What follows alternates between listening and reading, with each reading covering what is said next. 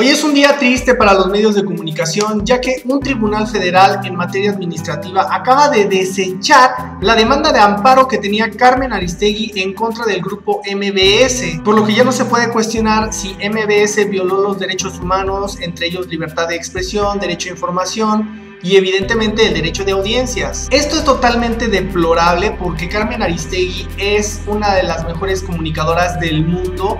Es totalmente ridículo que el tribunal deseche la demanda. Nada más falta que ese mismo tribunal pendejo ampare al Chapo Guzmán. Y es que el Poder Judicial en México no está para hacer valer los derechos humanos, está para defender a los poderosos, a los corruptos, a los rateros, a los vendepatrias, a los políticos, a los empresarios, a los delincuentes, a los asesinos. Es tristísimo lo que está pasando en México, pero es entendible, vivimos en una nación corrupta, impune. Ahora, ¿qué nos espera? ¿Qué nos espera sin un periodismo crítico, sin un periodismo analítico?